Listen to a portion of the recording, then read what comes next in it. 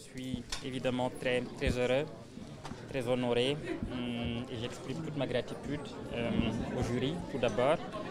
Et j'exprime aussi mes félicitations euh, et mes pensées à hum, tous les candidats qui auraient pu aussi avoir ce livre, ce, prix, et qui pour des raisons très différentes auraient vraiment l'auraient mérité. Je crois qu'aujourd'hui, hum, l'Académie Goncourt euh, envoie un signal très fort, je pense, euh, à beaucoup de gens.